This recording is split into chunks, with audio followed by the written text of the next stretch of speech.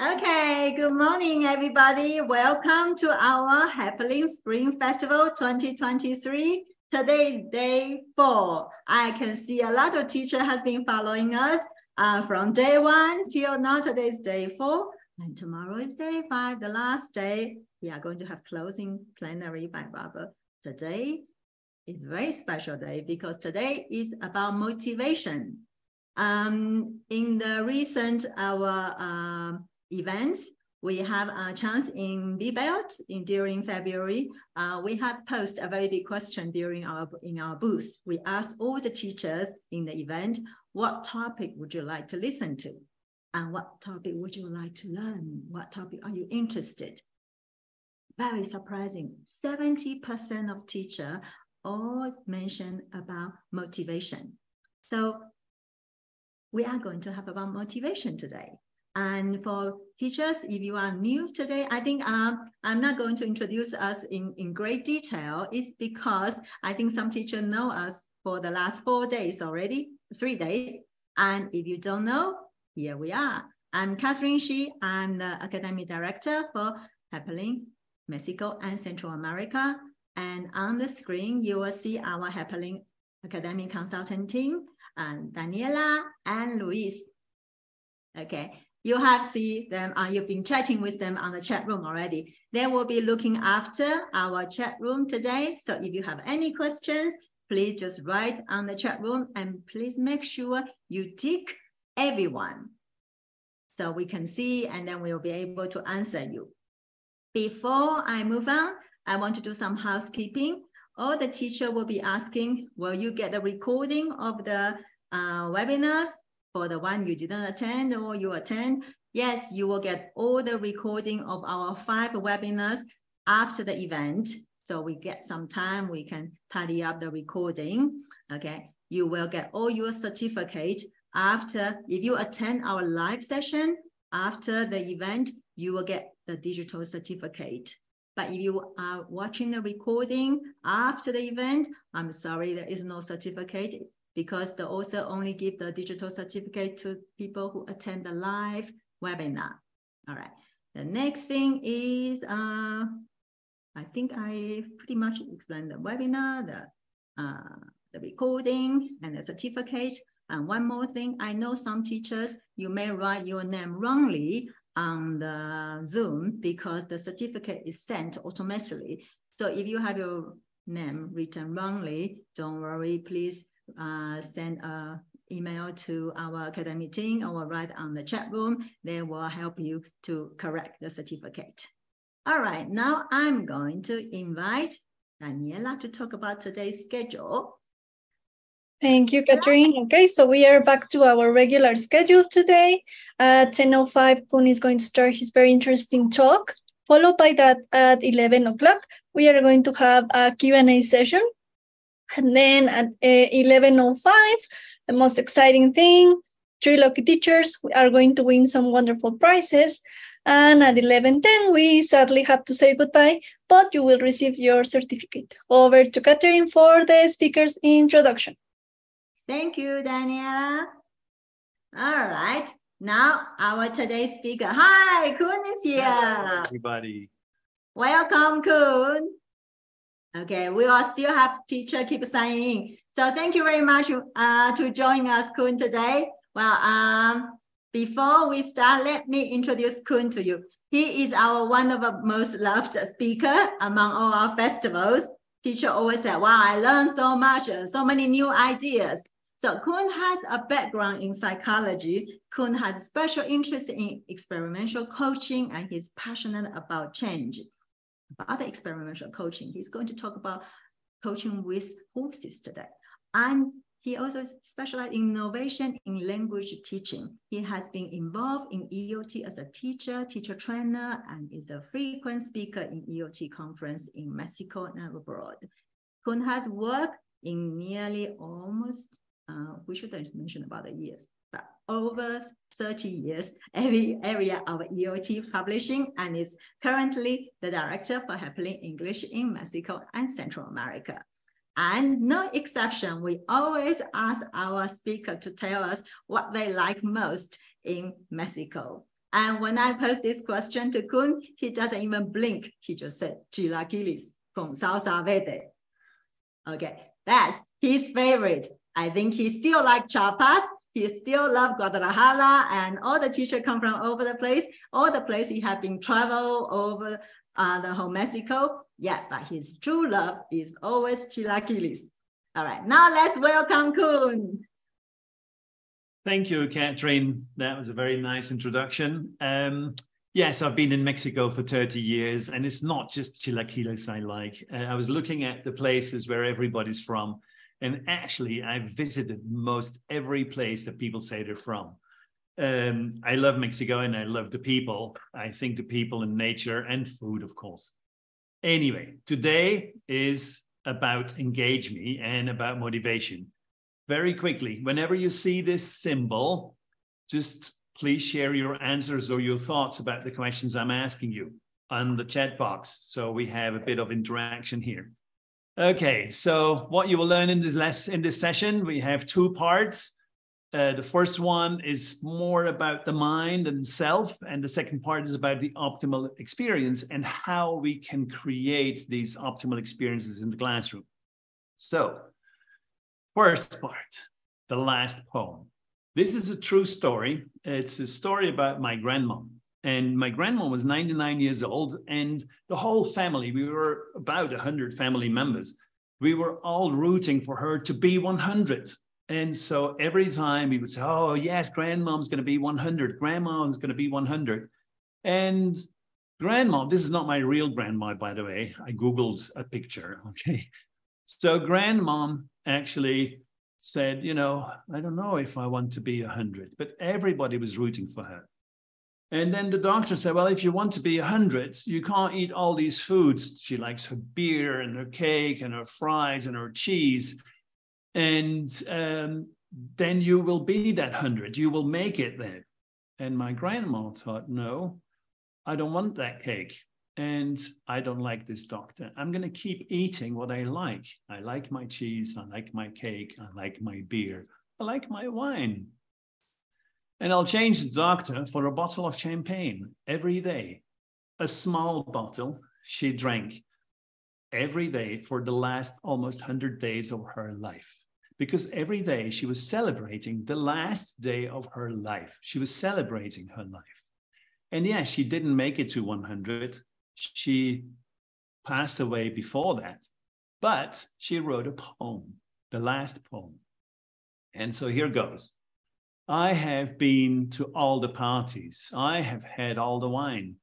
What else is there? Between desire and satisfaction lies the motor of life. And now that I have no more desire, what else is there?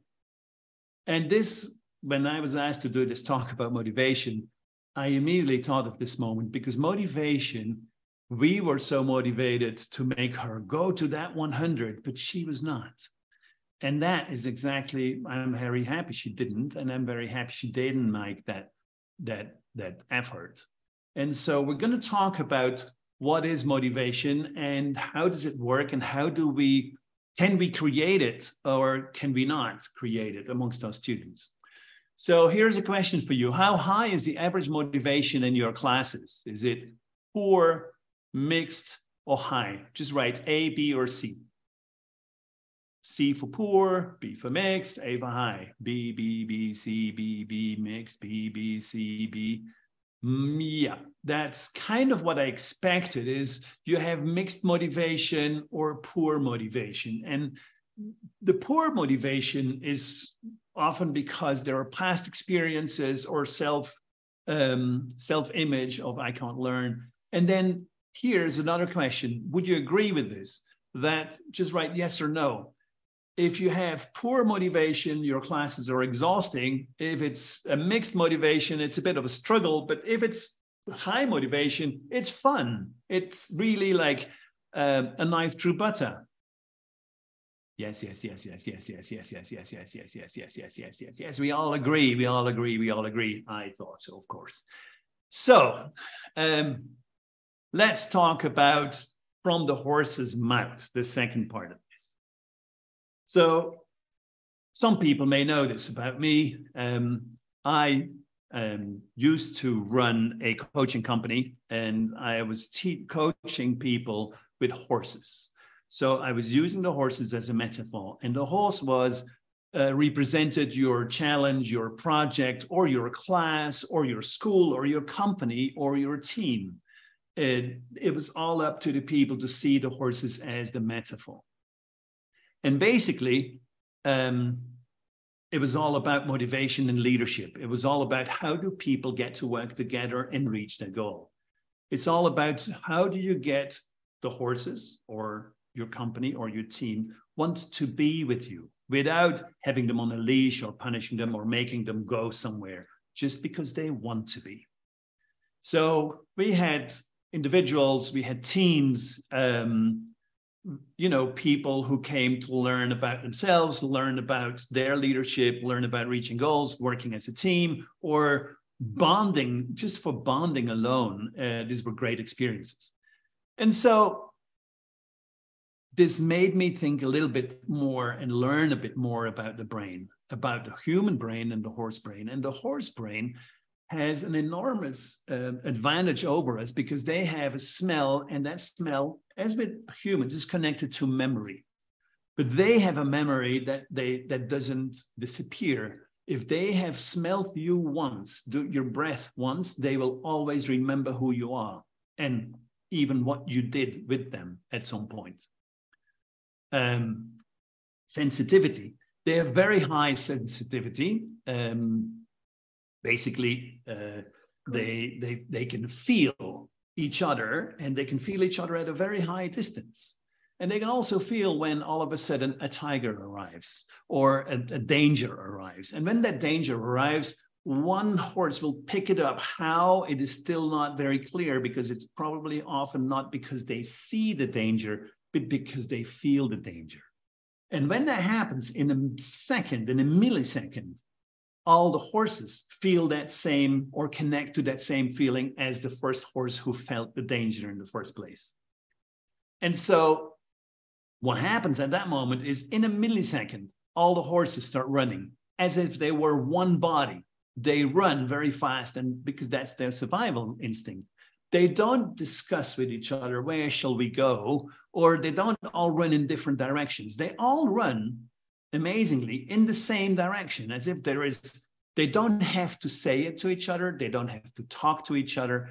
It's just what happens. Okay, good. I'm sorry. I have to stop sharing for two seconds Oh, because there is okay. a screen issue. So There is a screen issue. Okay, I'm Okay. sorry about that. yeah, So this is this is what happens. Horses, when they feel something, they immediately transmit this. In Chinese, we would in the Chinese philosophy, you would call this the qi. So they, they have an energy, and when they perceive something, they pass that qi on to other people. So a happy horse makes other horses happy, a sad horse makes other sad horses sad, right? Um, but they run and they run all together. Okay, I think our screen is back. Um, yes, it's back. yes, we're back. Okay, thank you, Catherine. So they all run very fast in that direction. If I ask you a question and say, do not think about the Eiffel Tower, what is the first thing you thought about? What's the first thing that came to mind? What was the first thing you thought about when I said, don't think about the Eiffel Tower? Paris, crepes, the Eiffel Tower, the Eiffel Tower, the tower. Yes, the tower. So here's how that works. And here I go, I'll go back to how the brain works. It is Notre Dame fashion. Okay. Okay. So here's how the brain works. We have kind of three levels. We have the reptilian brain, which is the action brain. We have the mammalian brain, which is the emotional brain. And then we have the last one that developed is the neocortex, is the cognitive brain. And so the reptilian brain is very fast. It's the prim- it's the primitive part, is the very subconscious part, and it's a very fast deciding. Basically, that part of the brain is the one that's responsible for the fight and flight focus. It's imagine when you see danger, fight or flight, immediately, bam, bam. That's a survival thing. Okay. The second part or the highest part, the rational brain, the conscious, is very slow. It's the decision taking one, and it needs to think. So, the reason why these horses can react as one and so fast is because it is their primitive brain immediately reacts fight or flight and run, and they all run in the same direction, right? The mammalian brain, oops, the mammalian brain is the one that is about emotions. And this is where joy and grief and anger and fear play, and so many other emotions. And this is what we call the bonding continuum, meaning when we, we share joy, we share it together and we bond together. When there is grief, when like my grandma passed away, we're all sad. We bond together through that grief. We bond through anger. We bond through fear. And so these are these two continuums that we have in common with horses. We also have the, the conscious brain and the thinking brain in, in common, except that we have a much more developed logical brain, of course. So the way we work with horses normally, um, and how humans have learned to work with horses is through pain and through punishment. So we control and we, we ride our horse through a bit that we put in the mouth, and it's a very painful piece of metal that you put under their tongue. And so when you see riders and you think they control their horse so easily, is because the horse can't fight or flight. The horse is trapped through this um, piece of metal. And that again is a metaphor. So can't flight, can't fight, and it has anger or fear uh, and maybe sometimes joy, even because the pain is not there when that happens. But the rider and the horse in general, and I'm not saying all riders, but in general, still today, most people handle the horse through a control. And if you think of the metaphor, this is what we often do with our students. So, unleashing the horse promotes motivation. This is when they stop having to do things but they will be with you because they want to do things. And this is a bit where I want to talk about because it is this wanting to be that is what we would like to achieve in our classroom. So here's an exercise I do with my uh, coachees. So this is a team, it's a sales team, and they're working on reaching their goals. And so I asked them to walk with the horse and then make a U-turn and walk towards their goal. And here's what happens. And this is not just this team, this happened most of the time. All of a sudden, at a certain point, the horse stops and the people stop. And if you look at these people, they're all looking at each other. They're not even really looking at the horse. They look at each other, and the horse is thinking, What do these humans want from me?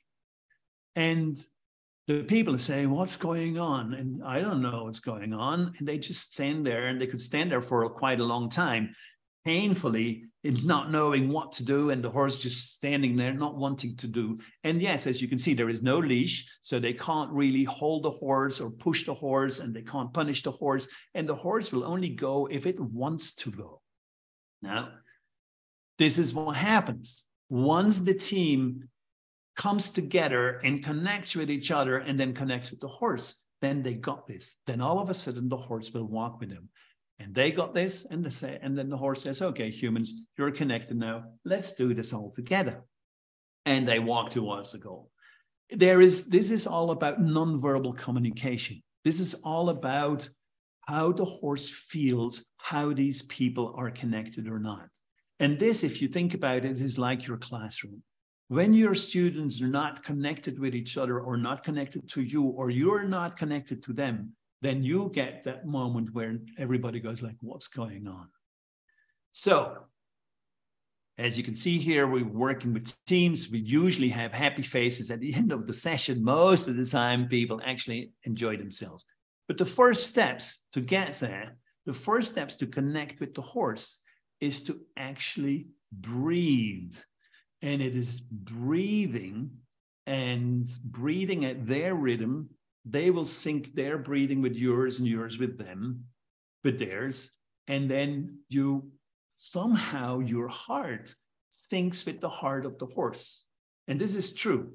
And when that happens, all of a sudden that connection makes you one. So when you walk away, the horse will walk away with you. And if you walk in a circle, the horse will walk in the circle with you because now it feels one, it feels connected. Okay. So there are three pillars to do this. Three pillars that I learned about, and I think I want to share with you because they're, they're probably the most important lesson that I learned when I was working with horses. And everything is based on trust, respect, and understanding. So if you, through that thinking and through your actions and through your mindsets, because it is thinking is an energy, you connect with the horse and you treat it with respect and you try to understand their needs. And then what happens is it becomes a door that swings both ways. And it is trust, respect, and understanding that defines the energy of your relationships of the relationship with your partner or the relationship with your team, the relationship with your students, trust, respect, and understanding. So these are three important pillars, and we'll talk more about that. And it takes me to the next is the sense of self. When I work with horses and when I ask people to work with horses, the reason we do this is because the horse is so much bigger, so much more powerful, so much stronger. And the horse does not read your business card. If your card says, I'm the general director, the horse doesn't care. When you give that to a person, they'll say, oh, he's the general director, and there is respect, or they respect your authority. But the horse doesn't. And so when you work with horses, basically people are facing their self, the sense of self. So let's talk about that. The mind is a system of beliefs. And that system of beliefs defines how we perceive the world, how we live our lives. So this can be about what's good, what's bad, what's proper, what's improper, what's beautiful or ugly, possible, impossible, fun, boring, success, failure. All these things are beliefs. And the beliefs are about the world, but also there are beliefs about the self. Who do I think I am? and what is it I can do or not do? What are my potentials and so on? So I'm good at, others are better at, I'm smart at, I'm not as smart at, I fail at, I struggle with, I like, I don't like. Those are mindsets. And so all these are mindsets. And mindsets can be, the, you can, we can split them up in two types of mindsets. Hmm? There's the fixed mindsets and there is the growth mindset. So the fixed mindsets, let's think about that. Fixed mindsets are things like, I know this, I can't learn this, I don't want this. What other things do you think people think about themselves as fixed mindsets that actually are obstacles to their learning? You can write this in the chat. What are other fixed mindsets? I'm afraid of, I'm not good at, I can't do it. What for? Yes, this is too difficult. I don't like this subject. Exactly. Those are fixed mindsets. Then they could be negative or positive because it could be, I mean, positive saying, I know this already. I don't need more of this. Uh, I'm already, yes, I'm already the best. I won't make it. I'm good at this. Exactly. This is boring. I hope you're not talking about my talk. So, yes, those are the fixed mindsets. And then I've tried this, I don't need this, or it's good enough. If I can understand, that's good enough. I, if I speak with mistakes, it's good enough as long as people understand me. I have a, a, a story here about my daughter when she had to, she was enrolling in university in Europe and she had to pass an IELTS test.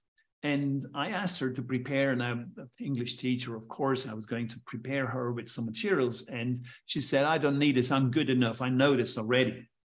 And she took her test. She had to have a seven to get through to the university. And she came back and she had a four. And it was her first encounter with herself because, and her belief and mindset of, I'm good enough, I know this, and it wasn't good enough. And so she had only three more weeks to actually get this test done again. And she did. She did work on this. And this is the growth mindset. A growth mindset is what do you think it is?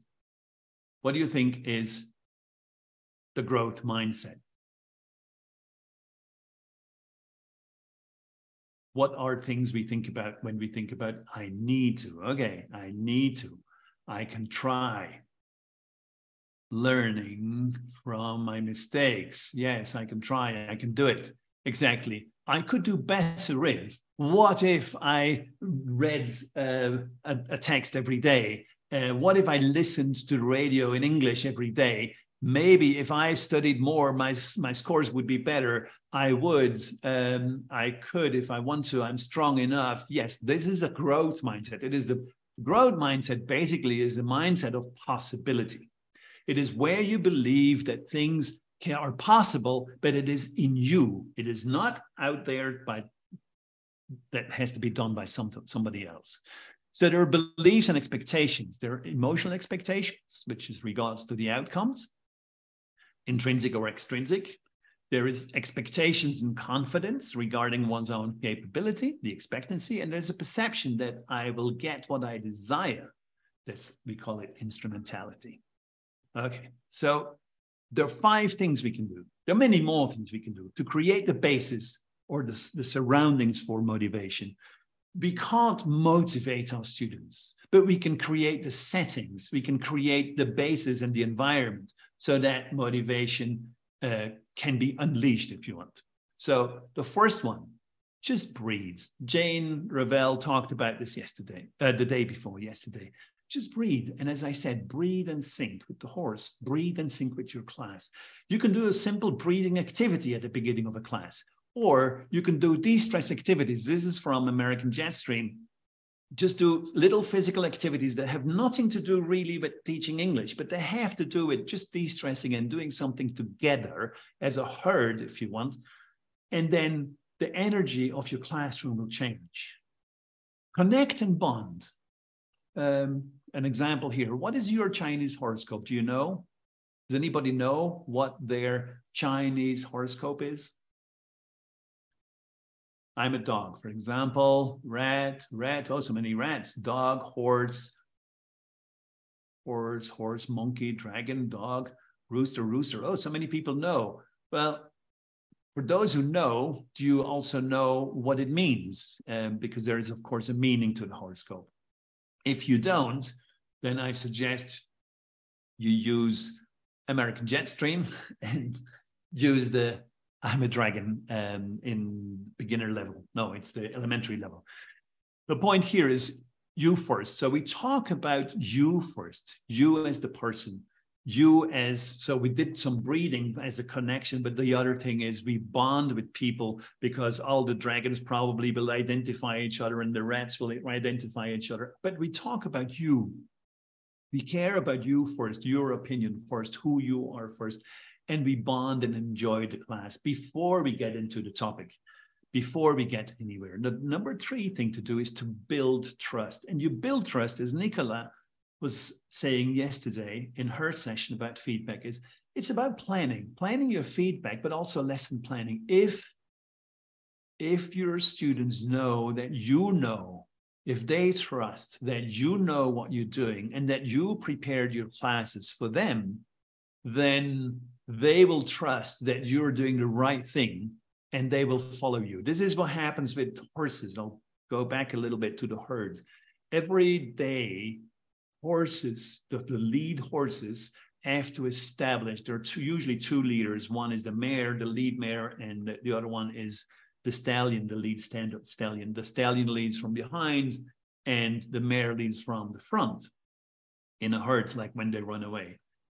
However, every day that hierarchy is has to be established. Every day they may be challenged again. So every day you should build that trust again, not just at the beginning of the course, but every time in every lesson.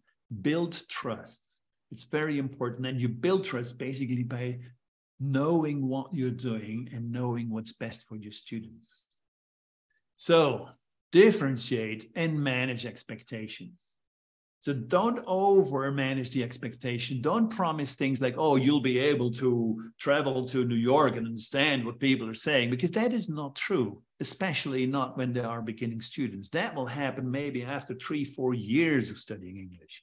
But you can manage their expectations. You can also differentiate. Some students are stronger, as Nicola again said in her talk yesterday. She uses stronger students to help the weaker students or to model in the class because they have more, more, more confidence. Also differentiate is in those fixed beliefs, I can't do this, I'm not good in English.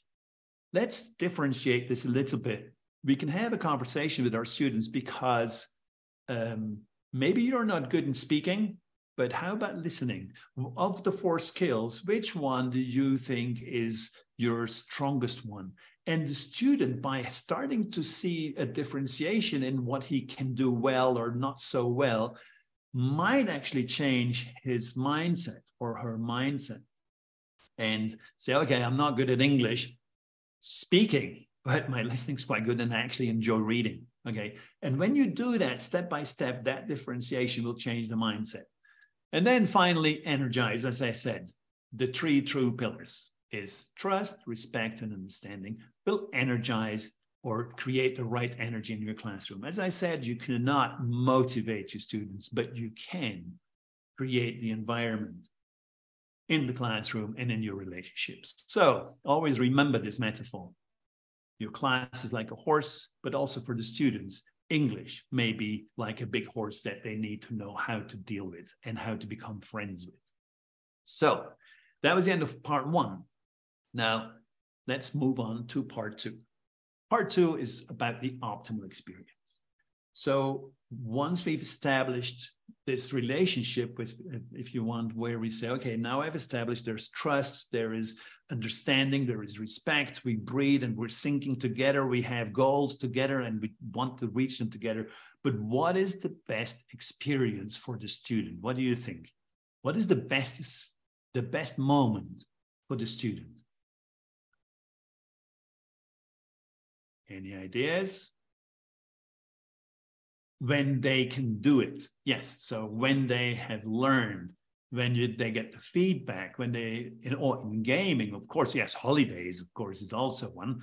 Uh, when they are heard, when play games, when they enjoy, when they're learning, when they get feedback, when they can produce. Okay. Now, what is the best moment for the teacher? Apart from holidays and paydays, of course.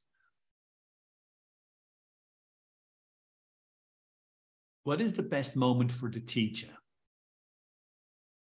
When the students understand, when you see that they have learned, um, when they enjoy a funny class, when students learn well, when they see the results, when they Okay, so in a way, what you just said is the best moment for the student and the best moment for the teacher is when the students learn, when they reach the results, when they can do it, when the teacher has achieved that result, or when the students have received that result. So for the student, the best moment, the optimal experience is the same as the teacher. Now, there's a theory about the optimal experience, and that is by a man called Mihaly Csikszentmihalyi, and he's the father of the psychology of optimal experience. And he says the best moments usually occur when a person's body or mind is stretched to its limit in an effort to accomplish something that's difficult and worthwhile. Now, wow, this is a very short sentence in a way. So the best moments occur when the person's body or mind is stretched to its limit. So you need to be stretched to feel that you've achieved something, that you made an effort to accomplish something that is either difficult or worthwhile. And of course, what is difficult and worthwhile will be different for different people. So the way these things work a bit is you have a comfort zone, and then you have a fear zone. And if you move beyond the fear, then you come into your stretch zone or your learning zone. If we stretch too far or we stretch our students too far, they may come into a panic zone. So the way this works is very simple. So on the one hand, you have skill, and then at the bottom, you have challenge. And so this goes from low to high. We start with our comfort zone. We have low skill, we have low challenge, we stay there. We are not really interested in doing anything. I'm happy where I am. Now, what do you think happens if the challenge is low but the student skill is high. So you, you have advanced students and you give them a very easy task. What do you think will happen in the classroom? What do you think? You give them a very way too easy activity. They get bored, boredom. Yes, they get bored. They're bored, bored, bored, bored, bored. Exactly, bored. That's the thing. What thing? What do you think will happen when they have a low skill? So they're beginning students, but you give them a very high challenge, something that is way beyond their capacity. What do you? Frustrated, stress, frustrated, frustration, stress, stress, stress, frustration, alert, stress. Yes, I want to go home. okay, disinterest, exactly, stressed. So when the challenge is too high, then we get stressed. When the challenge is too low, then we get bored. So this is what happens in our classroom. When you get this mixed motivation, it's very often because either your students got bored in the past or now, uh, or they got stressed all the time, every time they were asked to do these things or go through exams and whatever. And so that was one of the reasons why they might not like the class. So the challenge you have as a teacher, of course, is then to balance this to balance the skill and the challenge to a point where we move gradually forward and eventually get to the goal. So we match the skill with the challenge in a way. Not exactly match, but we constantly mean what we mean is that the challenge shouldn't be way beyond the skill, or the skill shouldn't be way beyond the challenge. So if you don't do that, you have a bored zone or a stressed zone. And the bored zone and the stress zone, they're both have to zones. This is where people feel I have to, I'm bored, but I have to take this class. I'm stressed, but I have to do this, right? So, how do we manage this? Um, in the center between these two, there is something called the flow zone. This is the want to zone. This is the zone where we want to do things because our skill and our challenge are matched and I actually feel I'm stretching my, my, myself, I'm learning something, but it is not way beyond my capacity. Have you ever played any of these computer games? You know what they are? Yep, yep, yes, yes, yes, yes, yes. Okay, yes, yes, yes. So a lot of people, a lot of people play games either on their phone or computer. Maybe you played in the past. And this is the reason why I mentioned this. Yes, yes we all play, yes, Mario and Angry Birds. Oh, we have fans. Yes, no, some people don't. I usually don't, but there's moments where I played with this more as a psychological study of what's going on and why do people get hooked. And I'll tell you why this happens.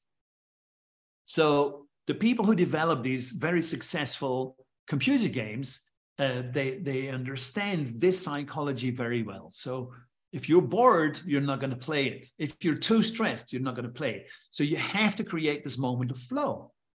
And the way they do this is they get you started. And as you start, you're still, your skill grows. And then just as you're getting into the maybe bored zone, they change the level or the challenge and they make you slightly stressed. And when you're slightly stressed, you engage and you increase your skill. As you increase your skill, once you now know everything again, you might just about to be bored when the computer algorithm changes you back to a stress level. And this is how they move you up and up and up and up and up the ladder within that flow zone. And this is what keeps you hooked. This is what makes you want to stay. This is what makes you want to play again. This is what gives you a certain level of excitement and satisfaction because you're constantly beating, or you think you're beating the system. And you feel excitement because you reach your goals.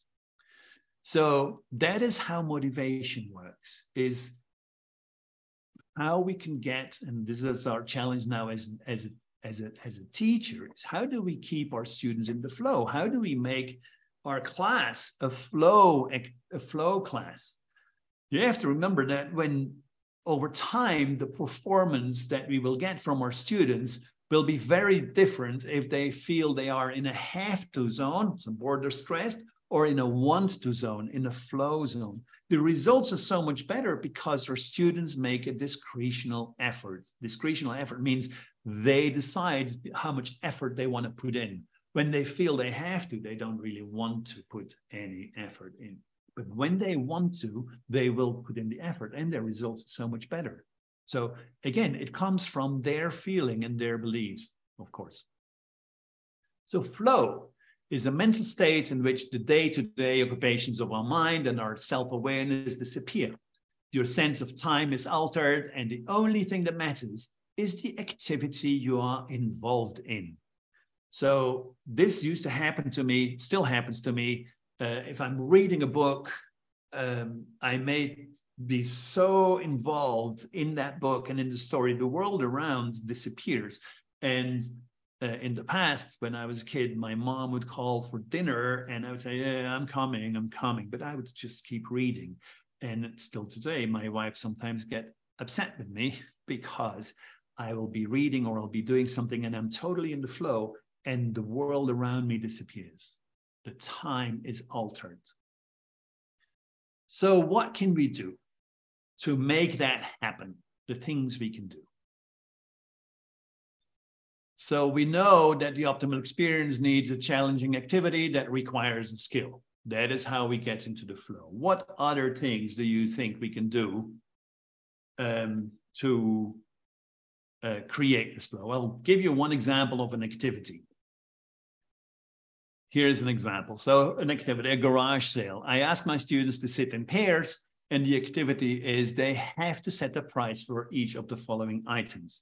The goal is you have to reach a total of $3,789. So you're going to sell the following items, an old guitar, pair of running shoes, two sets of used pots and pans, a baseball bats and 50 old CDs, right?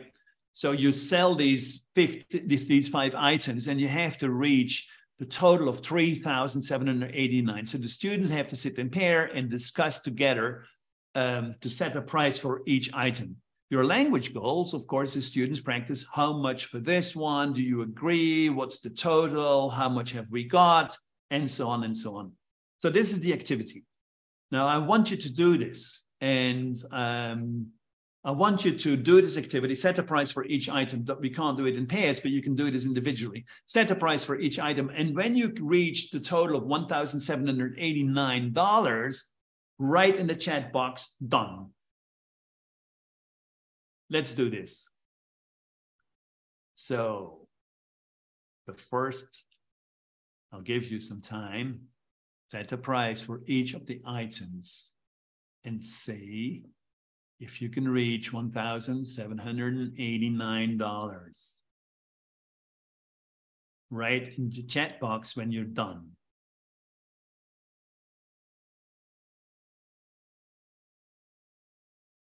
I know you're English teachers, so you're probably not so good at math. Okay, done.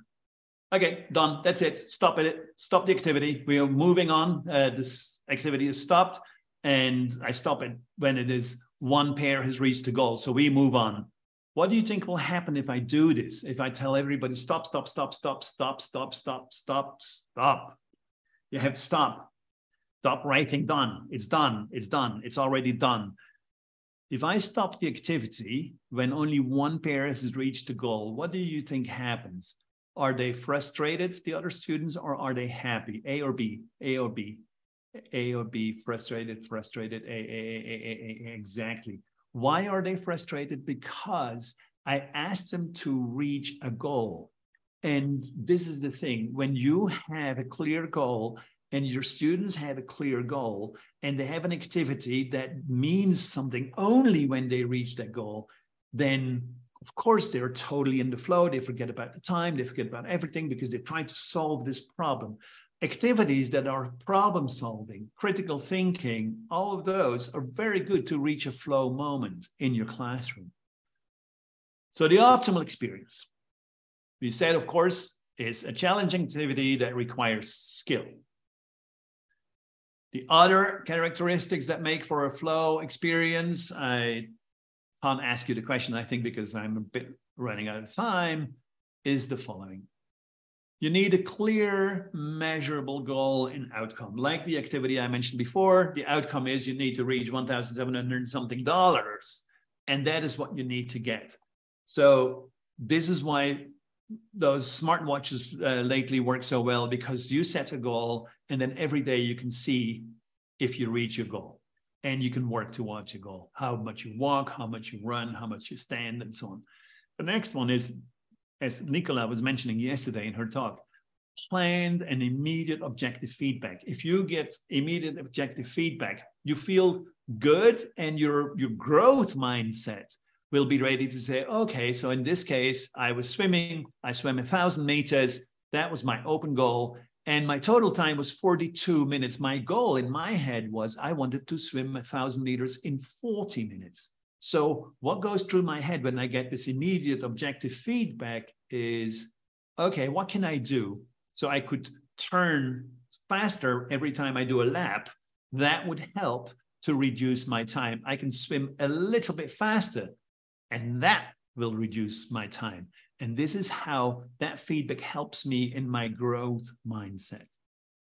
It's objective, but you as a teacher, you're not a machine.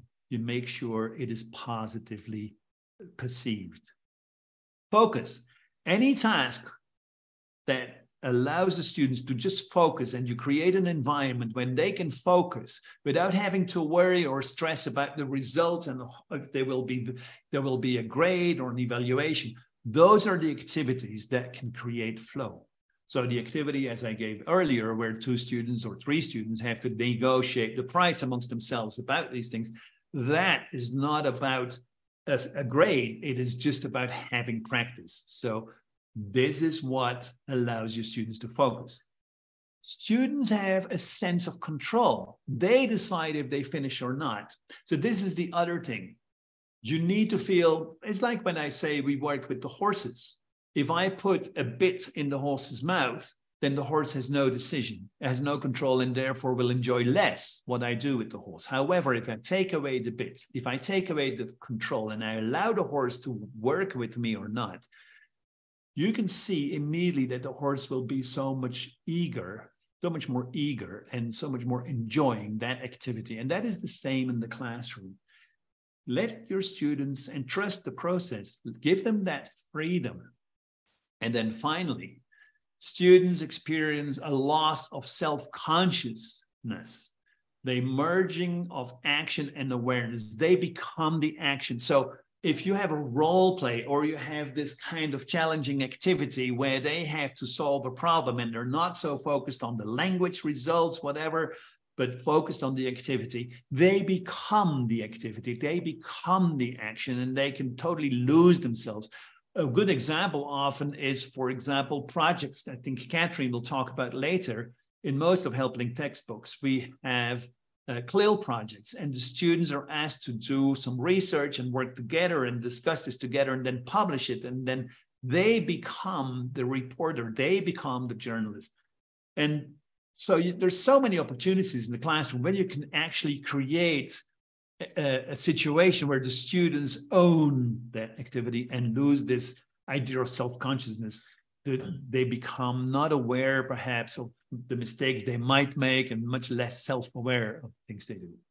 And then finally, the last one is an altered sense of time. Time stops when you're in the flow. And that is kind of what just happened to me. Time stops when you're in the flow. I just finished my talk. I think most of the ideas that I wanted to share with you not just don't just come from the horses, but a lot of these ideas come from Jetstream Studio. And the hand, three handbooks that I highly recommend is Psychology in Practice, Energizing Your Classroom, and Creating Motivation. So don't forget the metaphor. Thank you. Thank you so much, Koen. It has been wonderful. It's really nice. I am going to stop your presentation first. Okay. Well, it is really nice. I think from the horses, people are like, wow, wow, I never know about that. To you explain about the brain science, and then you move to all the flow zone. You have to, you want to, and then at the end with all these fun project activities, I think uh, as some teachers says, these are so important, but a lot of teachers, sometimes we are so busy to catch our curriculum and all the, finish all our exams, and we forgot to put this in the class. We should relax our students so students can learn better, and we should understand them so they can actually engage more. It's been wonderful. I will leave you. Uh, thank you very much first. I think teacher are all giving you a big applaud on chat room at this moment. Okay, I'll leave Daniela and you for the Q&A session. Okay, Daniela, shoot. I'm shooting you two questions. Uh, what are some effective strategies for increasing student motivation, especially for those students who may be struggling academically? Okay, so students who are struggling academically usually, and because everybody can learn languages, this is something Noam Chomsky said, and everybody that has studied this is we can all learn three, four, five languages as long as we feel we need to, and as long, of course, as um, we are exposed to the language. And so the, the motivation about this is what makes you learn or not learn. Now, if you believe you don't know, you don't need it, or if you have had very bad experiences and you have a self image of, I can't do this, as I was talking about the self image and those fixed mindsets, I can't do this, I have bad experiences. And usually it's about the bad experience. Usually, by the time you get that student, he's had an experience where he didn't make it and he wasn't as good as others and he was a bit frustrated with that. And you know they start to struggle because they don't want to make the effort anymore. It's remember it's a discretional effort. I i feel i have to and i don't want to because i don't i can't do it. And that is when people struggle. But that can change and you can change the mindset. You can't as i said you cannot motivate your students but you can change their mindset. And and it begins by maybe you making a difference as a teacher being a different teacher than the experience like show them that the past experience is not something that's written in stone. You can change that mindset little by little. But that takes time because it's a belief and beliefs are one of the things that are hardest to work or to change. You know don't ask i mean ask a christian to become a buddhist is not it's not very easy or the other way around. So so that is something what can we do? Trust think and understand your students, understand and differentiate. I think that's what I was trying to explain in the talk. And I'm seeing that many teachers agree with you. Uh, and the second question would be uh, sometimes teachers struggle with balancing intrinsic and extrinsic motivation. How do you suggest that they do that? Right. That's a very, a very interesting question. So Yes, uh, in, intrinsic motivation, which is your motivation, it's about what you expect to get out of it and uh, the effort you want to make to get there and so on. That's your intrinsic motivation. The extrinsic motivation, of course, is the things that happen beyond you, and that is, um, yeah, the, the the grades you will get or the piece of paper you will get, and of course, those things are are important. They're institutionally there, but they they usually aren't really great motivators because they are the things that you have to do to get the paper. You have to do to pass the exam. So hmm. the important thing to balance is that we try to achieve with our students this kind of herd mentality where the goal is the goal. Is not just my goal as a teacher because if it if they believe it's my goal then that's extrinsic right but if it became our goal, if we, as teachers and students, if we have this moment where we come and sync with each other and understand what we would like to get out of the class, and then we work together towards that, and we work, and once people have these positive experiences, they will want to repeat, like in the computer game. And then it becomes not just the pressure of the exams because they're there. We can't deny that. We still have to work towards those grades and two exams. But you can only do this if you get the want to to happen in the classroom. If you get your students into that kind of flow every time they come into class and they they have a smile because they know something fun is about to happen. Okay, so, thank you very much, Koen. Yeah. and thank you, Daniela. I think it's been really nice Q&A session. And uh, I, I remember I read uh, one sentence which probably can even like summarize the whole the whole student's feeling is everyone want to be acknowledged, understood, and loved. So once you actually can similar to your triangle, once you can reach that, then um, student is very easily to engage for what you are trying to explain to them. That is so true. Them. Yes. All right. So thank you very much for the Q&A session. And Koen, I will let you have a, a, two minutes break and then I will move to uh, my uh, introduction session for our uh, two project. Okay, uh, for the last three days, I have been introducing uh, JetStream and Studio, and I mentioned about two projects. One is our cyber homework, which is online in our um, platform. The other one is CLIL Project. And a lot of people always like, what is CLIL Project? How does it work? And how does your cyber homework work? And here it is. So I'm going to talk about our cyber homework today, and they applied in our three courses, JetStream, American JetStream, British JetStream, and Studio, same as British American, and also For Real Plus. And how does our homework work? It's pretty much, let me see, does the, my video work? Okay, I will use American JetStream as example. You just assign your homework as a teacher. You log in, you assign your cyber homework, and you can actually see every unit have uh, three lessons, and you have a homework, and you click and you assign, and it's pretty much about 30 seconds done. And you can change your deadline, and then once you assign, all your students receive an email and so Maria, you have homework and you Maria start to sign in and start to do all kinds of homework.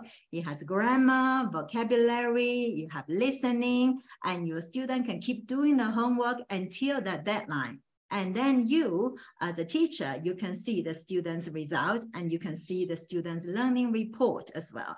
And the learning report, you can actually export to your school assistant. And now I'm moving to the more complicated CLIL project. So what is a CLIL project? The idea is similar like Vygotsky's uh, collaborative learning.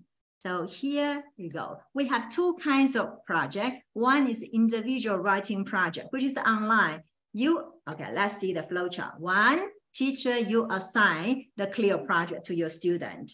And two, your student receive the notice and then they will do the research. You say, okay, they will topic, they will do the research, they will write a project report. And then you go to the three.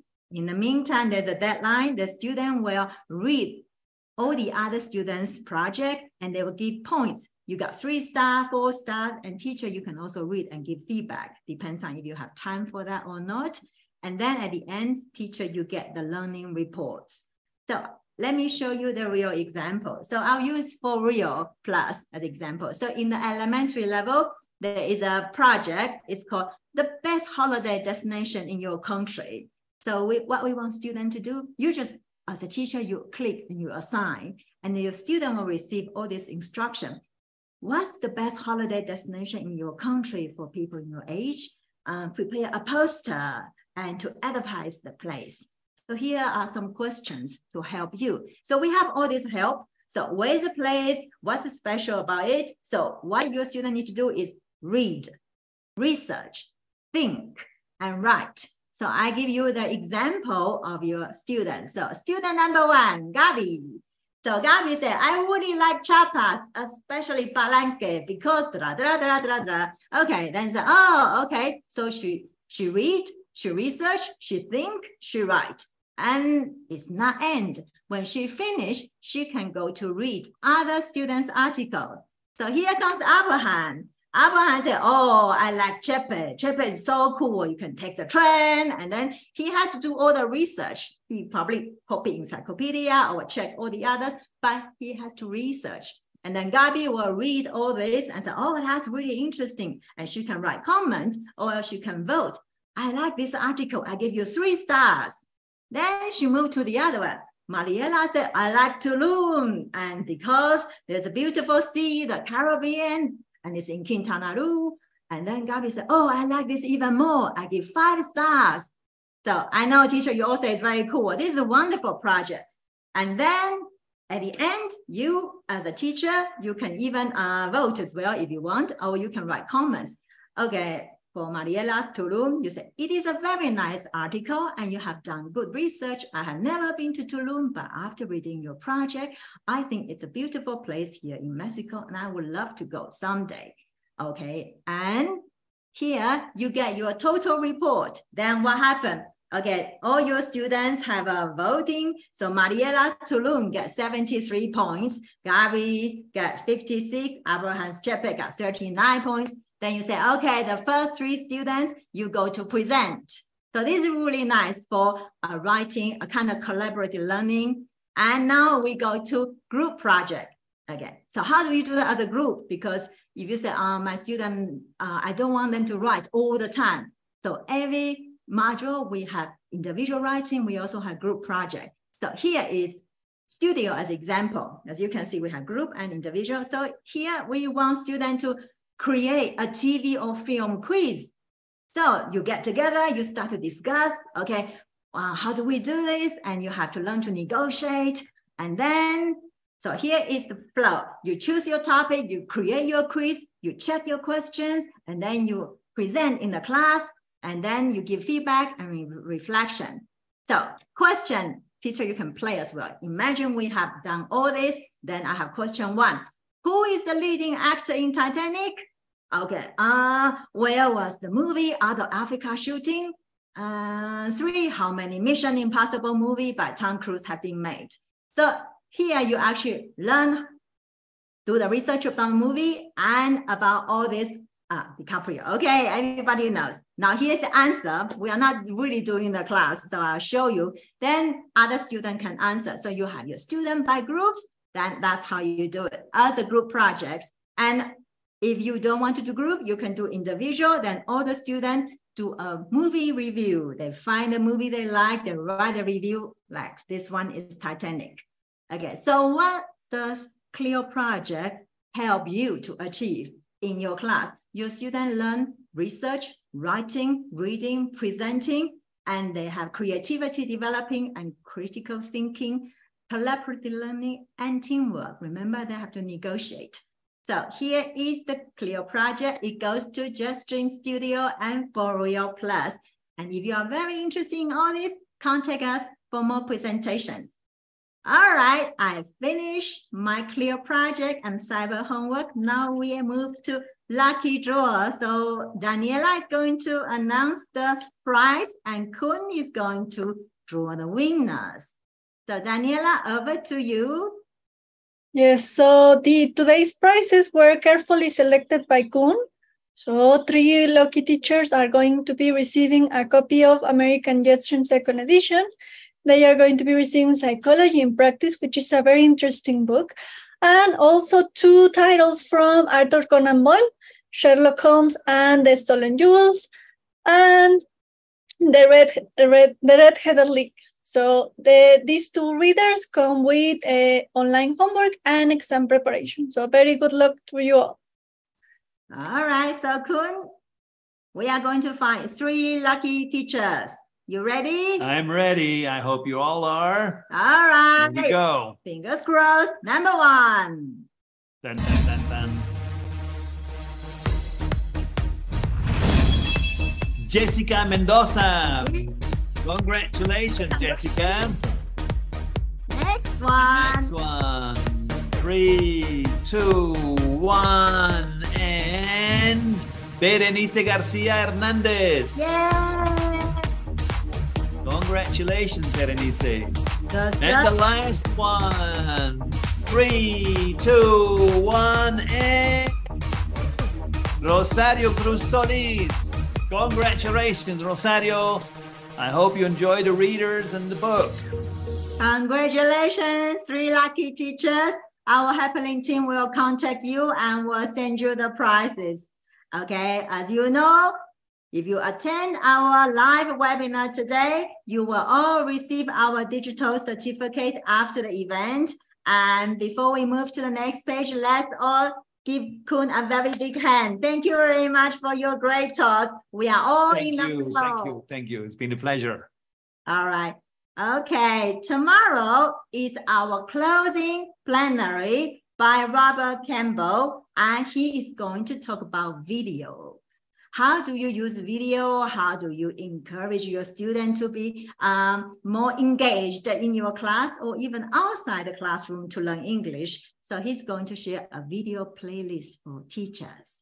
And here we are going to say goodbye to you. And if you haven't registered Robert session, please go to helblingmexico.com to register Robert session. And we are going to say goodbye to you with the music Koen selected for you. Goodbye. Bye bye.